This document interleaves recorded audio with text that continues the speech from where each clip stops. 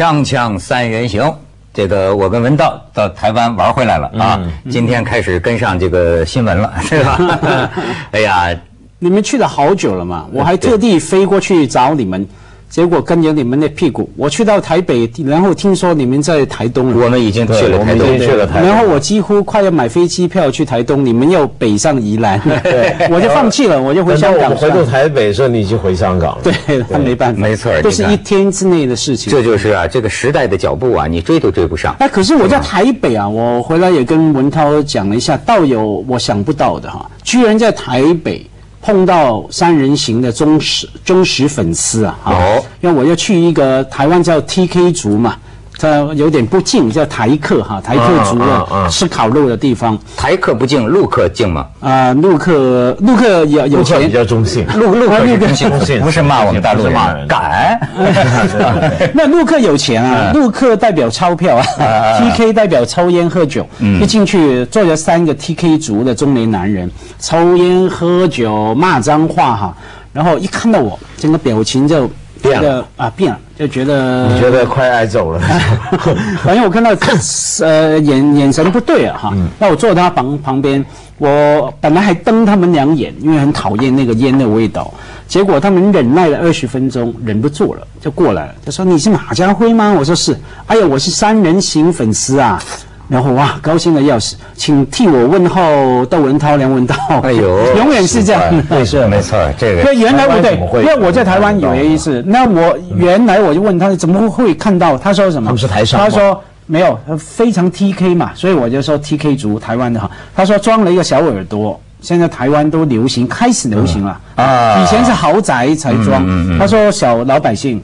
好像住在桃园，然后装一个小耳朵，就完全看到。那可是台湾这么多的电视频道，他们干嘛装这个小耳朵，越洋过海的跑来看凤凰卫视呢？我告诉你啊，这个这个规律是很有意思。你人性如此，你越不让人看什么，他拼命了，其实没什么好看。他这么看，而且还觉得好看。哎，对，因为你不让他看，所以他想尽办法就要看。我我倒是遇到，我倒是遇到一些这种我们做出版、做书的一些作家、学者圈的人，他们偶尔会看，比如说看了开卷八分钟，因为我常常会介绍到台湾的书嘛，那他们就会留意一下。但这个多半是在网上看，哎，很少人专门去装个小耳朵。其实现在你在网上看都看到，没错。所以现在我们都重视到了，家辉啊，我们这个电视台啊，没多少时间了，就是这个夕阳工业，你这不是我们不会没饭吃。那些经理 们可能会失业啊！我们我们是创作，我们是制作节目的，什么人都需要节目。但是呢，我们将来的这个运载工具，嗯，不一样了。首先是据我所知啊，这个《锵锵三人行》现在大概有一半的观众，实际都是通过凤凰网，嗯，在呃看。所以说呢，这就不得不提到另外两个视频网站，是吧？你知道，对于优酷和这个土豆。我呢都不太了解，可是我也知道他们合并了，好像这个，而且这个微博文道啊有一个意有一个语言学上的意思哈，它可以啊把一件事情啊呈现出从正经话到不正经的话多个这个色谱。你看我先跟你说说啊，对这事儿啊正经话怎么说？一家公司，两个品牌，两个网站，两个销售体系，还没听完就不想听了。在开放、合作、尊重、包容的团队氛围下，达到双赢，一起实现合一梦想。这是优酷的 CEO 和土豆的 CEO 两个人发的，今天吧发的微博，对吧？这叫正经话。但是同样，你看这个微博上啊，当然，我想两家网站既然都是在网络上讨生活，应该有这种幽默感啊，难免这个网友有这个调侃啊。但是这个调侃啊，很值得我引起对人类学的这种研究。哎，你看网友在微博上怎么说？你像这儿有一个叫“翟府集中营”的，他描述这件事儿啊，说优酷搂过正倚在窗台的土豆，手指轻拂过他的发丝，声音邪魅说：“我说这么多年了，还跟我闹别扭呢。”嗯。土豆微微挣脱 优酷的怀抱，拧了一拧，却无奈优酷一再的收紧臂膀。最后优酷说：“行了，回来吧，你在外边，我实在是不适应，咱们和好吧。”把一份同居协议书摆到土豆面前，你看，这是一个说法。呃，还有一个微博讲啊，说一群人呃围在土豆家门前，这个呃叫骂，说土豆你画质不清晰，什么缓冲冲百天，一卡卡万年，对，就是说对土豆有一些不满意。这个时候，大门缓缓打开，优酷一手搂着红了眼眶的土豆，一手夹着烟，优雅地走出来，眯起眼睛看着众人，挑眉冷笑：“ 我宠的，怎么有意见吗？” 哎，这个是这个这个开玩笑啊，咱相信两家网站有这个雅量。但我觉得这个玩笑里很有意思。我今天就问他们，他们给我找的这个材料哈，我说为什么？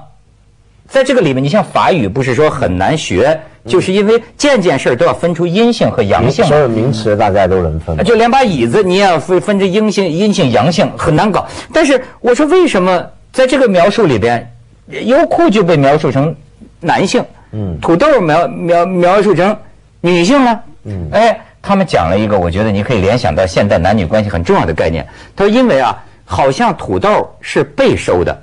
我我不懂两家的具体合作，这土豆是被收的，就是土豆溢价呢，就是很很好的买卖，很很好的价钱。嗯，哎，这个那等于意思是说，没有通常收购啊，我记得以前看新闻或者说合并哈，都是这样嘛，都是比喻为结婚男女嘛，比如说收购合并。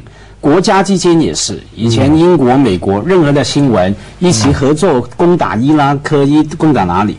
网上也好，新闻的和恶搞的图片、漫画都是这样，把一边英国，比方说美国化成男人，英国化成女人。嗯。可是，假如英国跟其他国家合作来做一个事情呢，就把英国化成男人，其他国家合成女人。嗯为什么呢？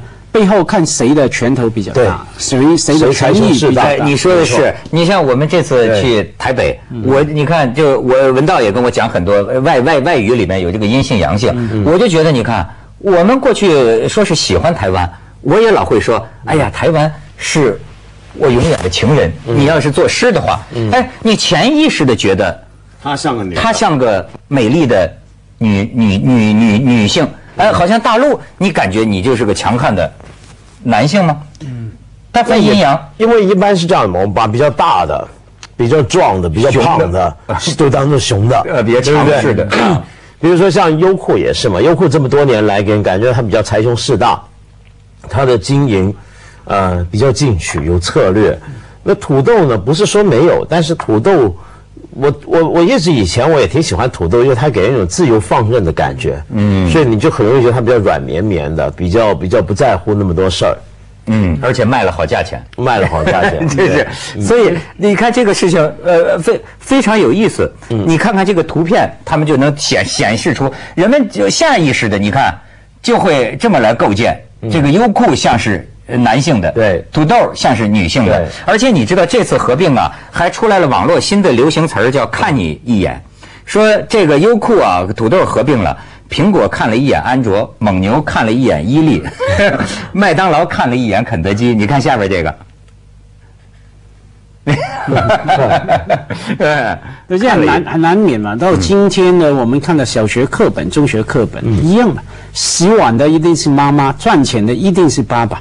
对，谁有钱？像我们说那个优酷哈，比较比较财力雄厚，那当然是男性哈。可是我倒是担心，刚文道讲到说土豆一般你喜欢自由放任哈，我们喜欢上网的人啊，有网瘾的人都很担心的。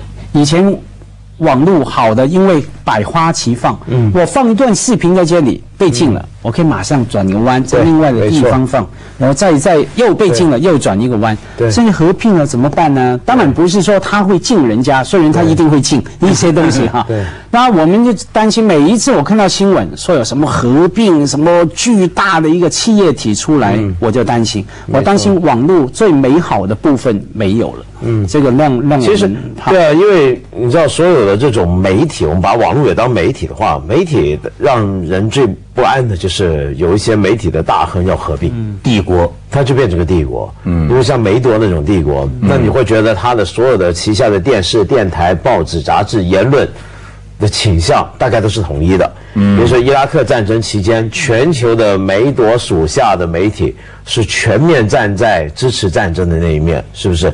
所以同样的，在大陆呢，现在这些视频网站。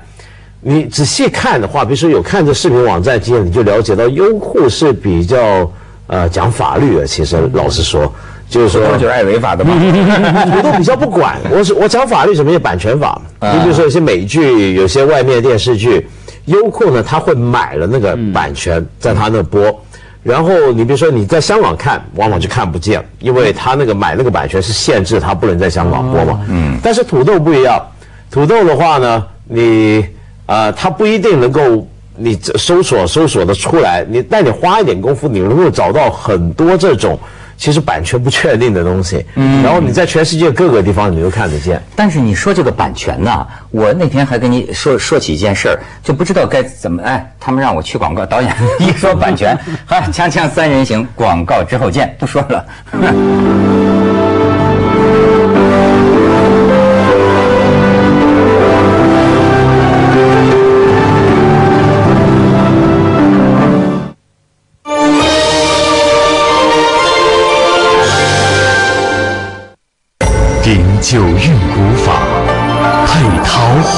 曲，采无极之水，汇原酒精华，年份原浆，与景共酒。科技是品质的源泉，责任是品质的保证。品质改变世界，三一重工。新科技就在格力，格力变频技术荣获国家科技进步奖，让节能舒适一路领先。一赫兹好变频，格力掌握核心科技。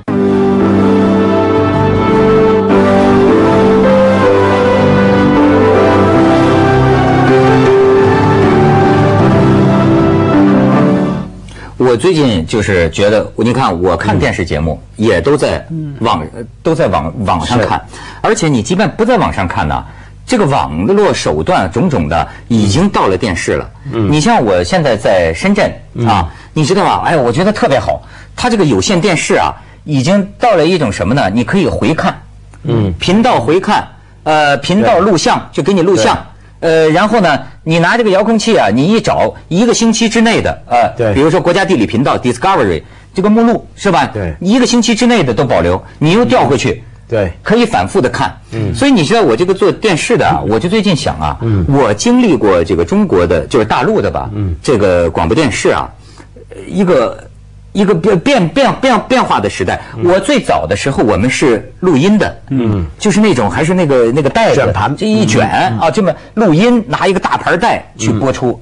到后来呢，我们说要学香港，是吧？就就什么那个时候广东电台珠江经济台，经给什么这经济第一台，就学香港。香港是直播，对，香港直播。所以那个时候呢，我们就觉得啊，直播是最先进的。嗯，就是这个录音时时代就过去了，然后所有的东西都讲究直播为高，为为为为时髦啊！是，一直到现在，咱们那天都说嘛，你这个《锵锵三人行》再提高收视率也很容易，只要他天天改成直播，他肯定比现在强，对吧？但是呢，哎，我现在通过我看这种互动电视啊，嗯，我慢慢的就觉得录播，嗯，呃，最终还是王道。嗯，为什么呢？就当然你你你直播有直播的价值哈，但是你看现在啊，就是说，权力越来越在遥控器的手里，嗯，在个人手里，嗯，他实际上是想什么时候看就什么时候看，嗯，哎，你这句话自主，对，文道这句话没听清楚，倒回去再听一遍。哎，他就非常的这个这个自主，而你要适应他这个自主啊，你明白吗？我必须变成女的，就像像刚才就，呃，我必须变成较为呃阴性的、被动的，任他玩弄的，对吧？我就这么玉 体被观众玩弄，被观众玩弄，我们变成个玉体横陈啊，或者这个脏体横陈摆在他面前，他们想怎么看我们哪儿就看我们哪儿，正着想怎么搞，反正看想怎么行。不能这样说，倒过来说，对我们被他们玩弄哈。可是我们到底要拿什么被他们玩弄，还是我们决定嘛？我们讲什么不讲什么，他也控制不了。只要我们直播或是录播之后，他才可以随意前后玩弄哈。嗯，这个当然很方便。可是说话说回来，这个我经常担心啊，因为可能我家有小孩，我看他这个十来岁的人的看。电影的习惯就跟我不一样，非常没耐性。嗯，我这是因为有遥控器，对不对？有遥控器看电视、录像，然后网络看，他根本没耐性。任何看一个经典片哈。我们去电影院看，我觉得有时候啊，他就觉得很不耐烦。有时候我偷偷看他，看我女儿，看到他一边坐着一边手指好像不自觉的按着遥控器，这样这样转着遥控器这样转。我跟你女儿可以一块过，你也是这样。我现在因为老弄这个。我现在看电视的时候，我老是一旦我闻到那句话过去，我没听清，我就 你就回放，觉得觉得回放，对我我想回放。不是，我想先讲这个直播的问题啊。其实直播肯定永远还会存在，是因为这个是跟新闻有关的事情，对不对？比如说你如果奥运开幕式，我想大部分人都想看直播，对。而奥运开幕式完了之后，没有人想回头看，球赛也是，对不对？对。你比如说，你看林书豪连输几场了，你得看直播。你都还是晚上才知道他输了球，你就不想再看回播回放了。嗯嗯。所以他肯定是跟某些节目性质相关。我觉得当年做电台啊，那么讲究直播才是王道的理由啊，主要考虑的不是听众或观众的习惯，而是节目制作人。嗯。比如说我在做电台的时候，我们都当过台长嘛。对，我们都很强调尽量直播。为什么？因为你我们做节目的人都有这个经验，你做直播你的感觉不一样，当然了，非常不同。你做录播的时候，你说话会比较草率，嗯，你做直播的时候，你整个人高度集中，那是你，那是你，还有加高度集中，会通常做得更好。对你录播，当然两个可以不冲突哈，你直播有那种状态在那边哈，可是录播呢，在后来录播很普遍以后，可以有一个发展。像我们现在买一些很高品质、档次比较高的光碟，可以什么？你听到有人来评论，你是可以看到的。比方说，你现在去买原装的《哈利波特》啊，那个光碟，那个导演评论，对导演，还有他找一群最核心的《哈利波特》的粉丝在那边讲，啊，这一幕。不应该怎么拍？你看穿穿崩了，还有这一幕他演的怎么样？他跟原著有什么不一样哈？那我们可以想象哈，假如我们这个东西，这个东西这是你的东西啊，三明治什么东西啊？你的东西不要 指着下边。假如你的东西以后哈，弄成这样高档的《锵锵三人行》的录的光碟，然后每一集都有旁边有窦文涛、有梁文道在那边点评的。你看讲这句话的时候，各位注意啊。窦文涛等一下有个反应，非常不屑的反应，那个多么像是另外一种享受，可以把那个商品再卖、再消费、再行销，那是另外一个阶段我们看到的阶段哈。但这个并不是很吸引你，你会看吗？那些电影正版光碟的那种导演评述，我通常不太爱看。但是你知道，有的那个日本 AV 啊，旁边有类似于没批的东西，这个也不是就不一样，这旁边它有这个字幕啊。这么狠呐！啊，这么大，没错。比如说，比如说，我们说，如果我们这个也做成这样的话，人家说，你看文涛这个视线开始不对了，他在看什么呢？哟，又停了条腿啊，对不对？这种嘛，是吧？可是再讲回去啊，我我觉得刚刚家辉讲看电影那个习惯很有意思，因为我们这趟在台湾还跟蔡明亮一起做节目，导演蔡明亮。对。后来我们两个自个儿聊天，我们就说到现代人看电影的方法不对了。嗯。就是在家看电视有遥控器看，我觉得是。真的是不太好的看电影的办法，呃，因为电影院那个状态，你想想看，香港有个很好的作家尤静，他写过那个电影院经验，我觉得写的非常精精彩。他说什么呢？他说去电影院是什么？是放弃自己的自由跟自尊，放下自我。对，因为你比如说你这么爱看电影。又这么爱在看电视哭的人，你就了解。嗯，你坐在一群陌生人当中，隔壁的人你都不认识。嗯，你夹杂在陌生人之中，你的情绪、你的一切时间、注意力都是放弃掉的，被人牵扯你。他要你笑就笑，他要你哭你就哭，而你哭的时候，你居然在一堆你不认识的人中间哭，是，这是非常奇特的状态。这个就是啊。就是他是男的，我是女的嘛。当然，我说这个男女啊，这种是这种非常臣服的大男子主义的那种性别观，好像认为呃征服人的就是男人，被征服的就是女人，这是不对的。但是容许我就用这个臣服的观念来讲，就是你看啊，过去这个大众传媒的这个时代，我们看到的就是什么？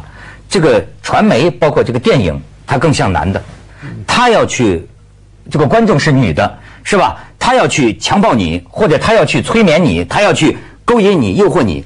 但是你看现在啊，民权上涨了，民权上涨了，我就说就又又回到咱们这个阴阳，这个现在是呃呃民民主啊，手拿遥控器啊，现在进入分众传媒啊，就是他要剪断你，你知道吗？他要回放你，他要上左边右边，他要挑拣你。但是呢，当这个观看经验变了之后啊，有些乐趣就没了。比方说，就像你说的，我在电影院被征服的这种享受没有了。我发现再臭的电影，我在电影院也能看完。可是非常好的电影，我在家里看碟呀，往往看不完。嗯，咱们去一下广告，锵锵三人行，广告之后见。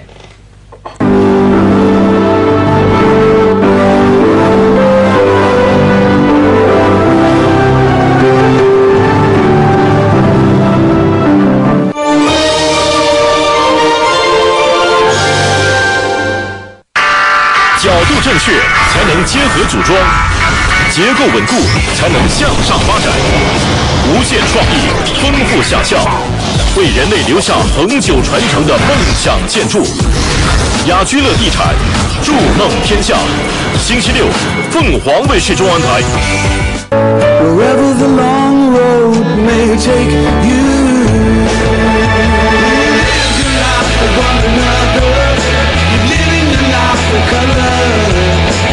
产，人车生活，传承千年酿造工艺，历经天宝洞藏，红花国色，酱香典范，红花郎。